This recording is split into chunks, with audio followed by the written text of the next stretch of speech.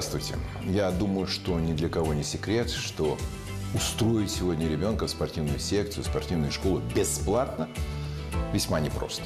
Конечно, есть муниципальное образование, где подобные услуги предоставляются государством. Но это касается в основном крупных городов. А уж если говорить о спортивной форме, снаряжении, амуниции, а особенно для хоккея, ну тут уж траты весьма и весьма солидные для родителей.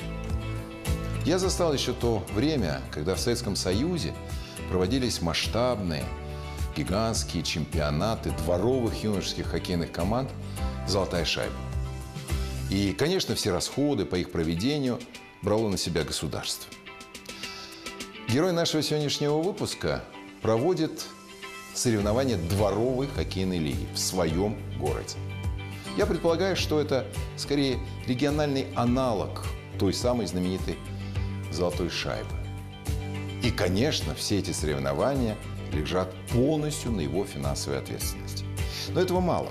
Он строит во дворах жилых кварталов хоккейные площадки, хоккейные коробки. Он оплачивает занятия мальчишек хоккеем. Он снабжает их за свой счет спортивной формой и спортивным инвентарем. И кроме этого еще самых уж ярых фанатов хоккея отправляет за свой счет посмотреть крупные соревнования, которые проходят в стране. Ну, пусть молодежь смотрит и учится у настоящих мастеров. Вы спросите, зачем ему это все нужно? И он сам отвечает на этот вопрос. Для того, чтобы занять мальчишек спортом, чтобы приучить их к коллективной работе, чтобы воспитать в них командный дух.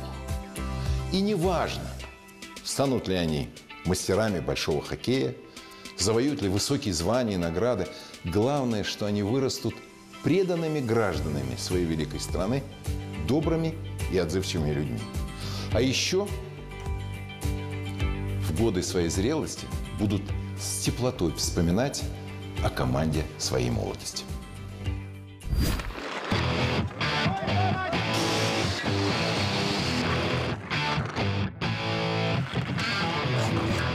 Хоккейная коробка во дворе панельной девятиэтажки – главная спортивная арена для детворы. Этих мальчишек называют настоящей хоккейной семьей. Зимой они проводят на льду большую часть свободного времени. Солнце, свежий воздух, скрип льда под коньками, румяные щеки и радость побед. На ледовом поле – легенды маленького двора. Возможно, будущие звезды большого спорта.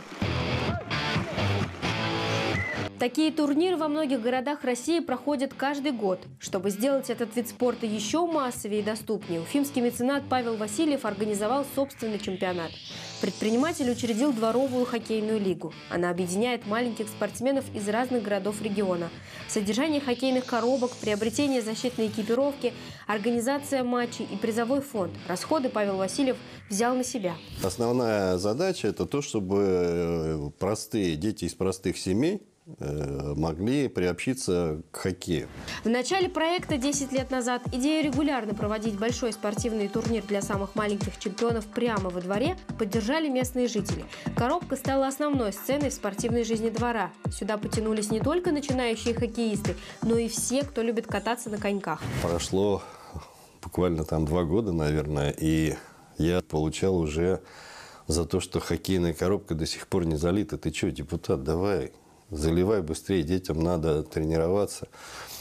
То есть изменилось мышление, изменилось мышление игроков, тренеров, изменилось мышление людей. Теперь каждый сезон во многих уфимских дворах начинают с подготовки к игре. Полторы тысячи квадратных метров льда, пять линий разметки, зона нападения, зона защиты, центр поля, где с броска шайбы начинается чемпионат, ставший для полутора тысяч жильцов, проживающих вокруг хоккейной коробки, любимым спортивным событием года. По инициативе мецената построили дополнительную хоккейную коробку. Три, по-моему, года назад хоккейную коробку поставил.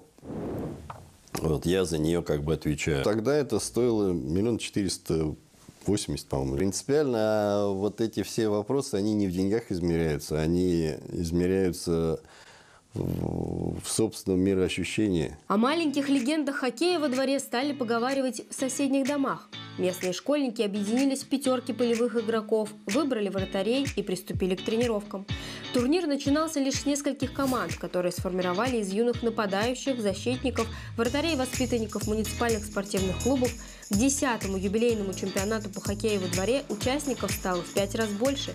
Теперь ежегодно детская лига собирает на льду сотни человек. Павел Васильев – инженер, выпускник Уфимского вуза. В 80-х годах перешел на партийную работу. Затем стал одним из руководителей Республиканского молодежного центра. В 90-е годы открыл свой бизнес. Уфимский предприниматель получил признание в городе за благотворительную деятельность. В списке мецената – десятки акций, фестивалей, праздников, адресная помощь всем, кто в этом нуждается. При этом особое место в его работе всегда занимала поддержка детского спорта.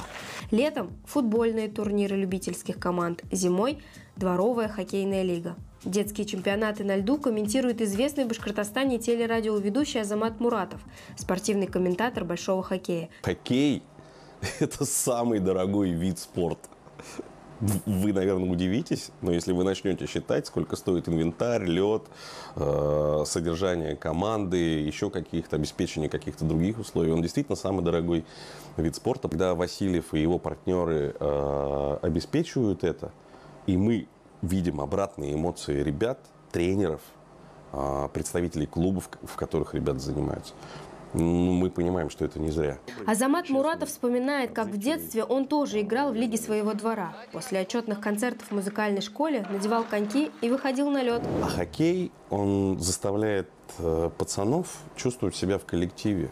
Мне кажется, что это самое главное. Ты можешь круче всех кататься на коньках, у тебя может быть лучший бросок, или ты э, можешь больше понимать в каких-то тактиках, стратегиях, которые возможны в дворовом хоккее. Но если ты не командный игрок, у тебя ничего не получится. Твоя команда не выиграет турнир отборочный, не пройдет дальше, не будет никаких перспектив. А каким бы ты в голове или реально на льду не мнил себя Радуловым, ты один из пяти хоккеистов, которые на площадке. И в хоккее один в поле не воин. Можно решить какой-то эпизод. Судьбу турнира один не решит никогда.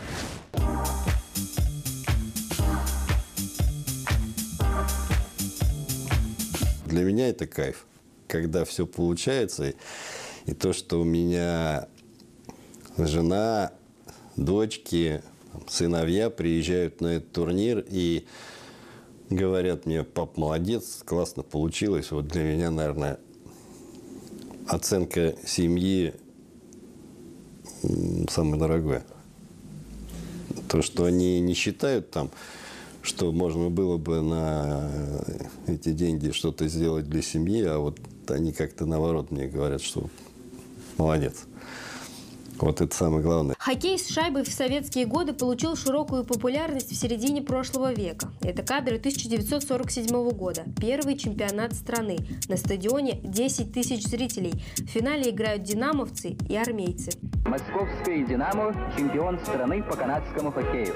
В 1954 году советский хоккей вышел на мировой уровень. Сборная СССР дебютировала в Швеции и сразу же взяла золото, оставив позади родоначальников игры, красные «Красной машине» писали все ведущие спортивные редакции мира.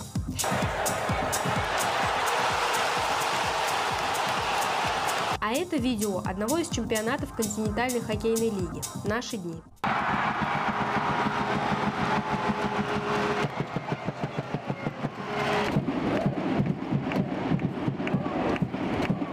Сила, техника, мастерство и работа в команде – секреты побед игроки дворовой лиги узнают не только во время тренировок. Организаторы матча дают детям возможность почувствовать себя внутри большой хоккейной семьи. На этот матч, к примеру, пригласили участников детской лиги в качестве болельщиков. Спортивный комплекс, где сейчас проходит матч, вмещает Восемь с половиной тысяч зрителей. Надо, конечно, побывать здесь, чтобы почувствовать атмосферу. Во время игр континентальной хоккейной лиги каждая шайба и каждая атака ворота соперников сопровождается бурей эмоций.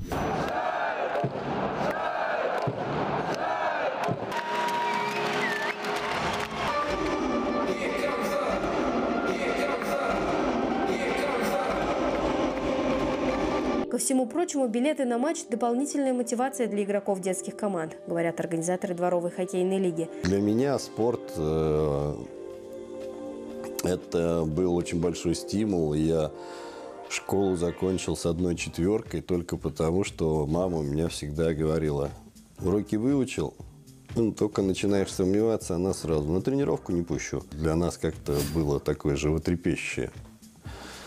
И поэтому проблем с учебой спорт организует. Ребенок расписывает время, когда у него есть возможность э, поболтаться где-то на улице, когда он должен выучить уроки.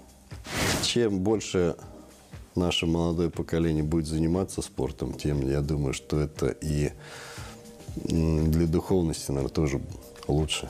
Меценат вспоминает о своих первых шагах в хоккее. Была у нас э, лужа с фонарем, вот, на которой мы играли. Вот она замерзала, мы ее чистили, и все, всю зиму на ней играли, там, ну, я не знаю, метров 20 на 10, может быть. Ну, нам хватало, мы с удовольствием. Потому что ну, на хоккейную коробку тоже там более взрослые мальчишки приходили. Хоккей – один из любимых видов спорта в стране. За матчами следят на экранах, с трибун. В него играют в спортшколах и во дворах. Проект уфимского мецената получил большой отклик и широкую поддержку местных властей. Команды растут, переходят из одного турнира в другой. Хоккейное снаряжение для дворовых чемпионов меценат приобретает регулярно. Один раз в жизни мне пришлось в хоккейной форме сыграть. Это там пятый-шестой класс, а хоккейная форма взрослая – краги почти до плеча, но воспоминания на всю жизнь, гордость. Вместе с защитной амуницией детям дарят клюшки, шайбы и постеры с автографами игроков. Вот тут мы попали в точку, вот это для детей самое-самое то, что нужно. То есть они этими наградными клюшками и шайбами, они ими не играют. Это у них выставка у себя в комнате, это у них стена почета. К дворовой лиге отношение очень э, хорошее, я бы сказал, такое отеческое. Все воспринимают это как нормальный, хороший, добрый турнир. Когда приходят игроки э, действующие, вот там уже начинается перешептывание. Смотри, смотри, кто пришел. Сердце поет, это уже другое состояние. Это просто ведет к тому, что ребята понимают, где хорошо, а где не очень. Чем нужно заниматься, а чем не стоит – и там на льду ты понимаешь, что ну, нужно играть честно что нужно отдавать все силы, если ты хочешь победить. Турнир «Дворовая лига» теперь расширяет свою географию. А проекта меценат Павел Васильев думает над тем, как вовлечь в игру как можно больше молодых хоккеистов из глубинки. Финальный матч победителей предстоящих турниров планируют провести на большой ледовой арене.